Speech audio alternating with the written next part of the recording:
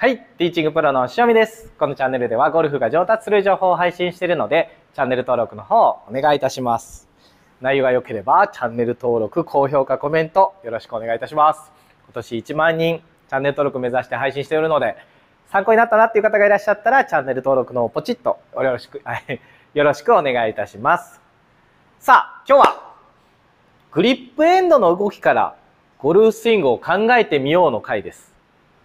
まあ、その中でも、やっちゃいけない動きと選択していい動きが二通り出てくるので、やっちゃいけない動きだけしてないかは、ぜひチェックをしてください。共有、やっちゃいけないグリップエンドの動きをしてる方は、なかなか打っても上手くならないので、もちろんやっちゃいけない動きなんでね。まあ、それだけでもまずはこの動画を見てチェックしていただきたいなと思います。ということで最後までご視聴の方、お願いいたします。はい。じゃあ、まずは打ってみたいと思います。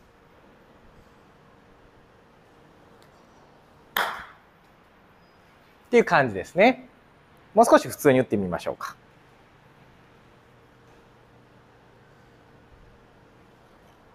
っ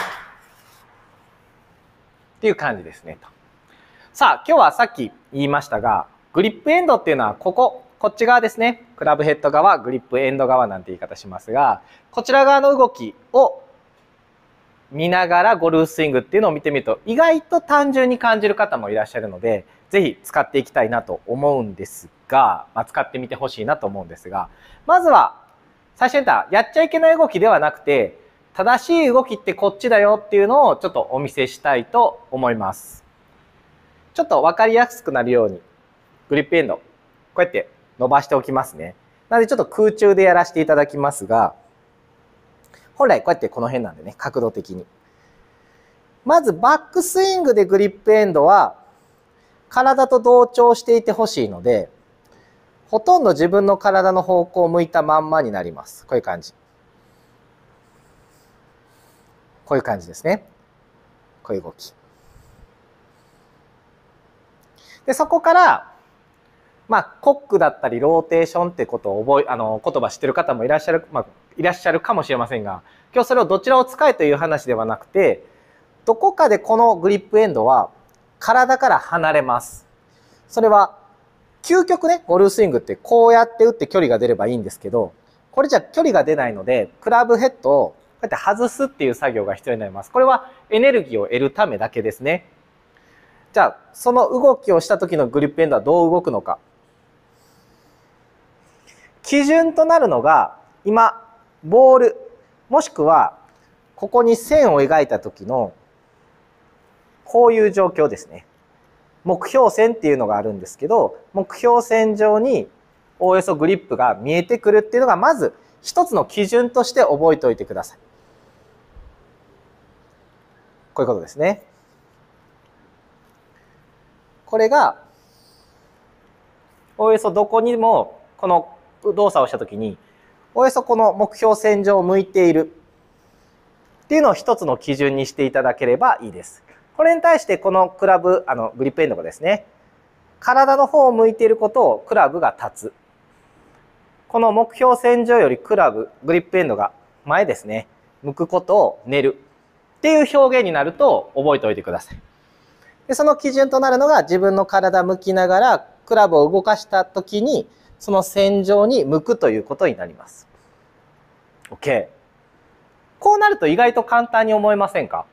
まあ、線引っ張ったりしながら、そこにグリップエンドを向けていくってなると、おおよそラインとしてはかなり綺麗なラインに上がってきます。で、次、ダウンスイングですね。向けました。ダウンスイングはまず、これも目標線上に向いて下ろしていく。っていうのが一つの基準になります。でこの時にはまだ自分の方には向いてませんよ。線上の方に向かってグリップエンドが降りてきます。基準ですね、これが。これが立ってるわけでもなく寝てるわけでもないっていう状況です。ですね。ここからもちろんボディターンとともにグリップエンドがボールの方もしくはアイアンなのでこのグリップエンドの向きはボールの少し先を向いていきます。こういう状況ですね。で、ここから、おおよそ右足の前や正面ぐらいから、グリップエンドが自分の方を向き出します。こういう状況ですね。で、インパクト時にはアイアンの場合は、真正面まで戻るというよりは体重移動とかその形によってですが、少し前の状態でインパクトする人が多いです。元の位置というよりかは、グリップエンドは少し前へ出た状態。グリップエンドがボール、もしくはボールちょっと先を向きながら回旋していって、右足の前から正面の時にグリップエンドが自分の方に向き出します。が、インパクト時には完全にアドレスの状態に戻る一歩手前ぐらいでインパクトすることが多いです。で、この状態から2つの選択肢が生まれるんですよね。これはまた後で棒を見せながらやりますが、このままクリップエンドが自分に完全に向く人。もしくは、向いてない状態で体と同調してフォローを出す人。っていう2パターンに分かれます。これはもう2パターンですね。自分の方に完全に向いてフォローであとは立つっていう作業なので、ここは問題ないんですが、グリップエンドが自分の方を向き切る前に体を回していくと、ここの棒、自分の方に向いてない、向いた、向いてないですね。っていうグリップエンドの動きの2つの使い方になります。ちょっとわかりやすいので棒を持ってやりたいと思います。さあ、出てきました。これは選択制ですよ。さっきこうお見せしたところですね。この状態です。グリップエンドを、線向いてます。戻ってきます。まだ当たっていません。この状態で体で回る。っていうパターンと、ちょっとこの棒があるとできないので短くしますが、この状態で、こういうことですね。これも完全に自分の方にグリップエンドが向きました。向いて振っていく。おおよそこれが一般的なグリップエンドで折った時のゴルフスイングとなります。さあ、これはまあご紹介で、この、まあそうなんだなって分かっていただければいいんですが、今日のメインは本当はこっちですね。この動きやってませんか問題です。さあ、行きましょう。まず、出だし。まあ、ちょっとこれ、オレンジ見えやすいと思うので、オレンジつけときますね。まあ、そこアドレスの状態ですね。はい、やっちゃいけないこと1。上げた時に、この棒の先がすぐに上向くですね。この後は結構ややこしいですよ。すぐこれ。これは困りますね。これまず NG1 の動き。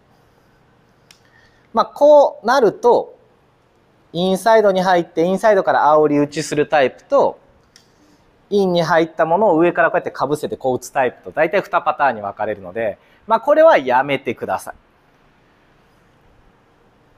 さあ、2つ目。まあ上げ方は良かったとして、このグリップエンドがダウンスイングした瞬間にですよ。これね、結構勘違いがあるんですけど、このダウンスイングの瞬間に自分の方を向く。これ NG なんです。これはもうわかりますかね？この先どういう動きをしようとしているのか、クラブが。こんな動きになっちゃうわけですね。なので、切り返した瞬間は、グリップエンドっていうのは、間違いなくこっち側に一瞬動かなければいけません。さっきのグリップエンドがこう、前側に線を引っ張ってるのはそういうことですね。